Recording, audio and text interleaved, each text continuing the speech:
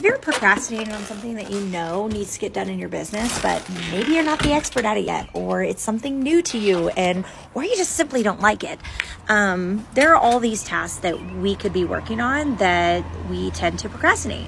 These are things like lead generation or email campaigns or writing your sequences for your emails or even building an email list or marketing or graphic design, funnels, all the things. Now, if you're in business or you're a realtor or any other business, you know that you have that one thing that you could be working on. And it's usually a thing that gets pushed to the back burner, but it's the one thing that needs to happen in order to push the needle in your business and increase your results is the Sprint Club. It's like a sprint club for running, but it's for your business instead. Each week we come together for one hour, Wednesdays, noon, Pacific Standard Time, to work on the one thing that we need to do that week. And it doesn't have to be the same as everybody else. We show up to the call, we start working for that one hour, and then we watch results happen.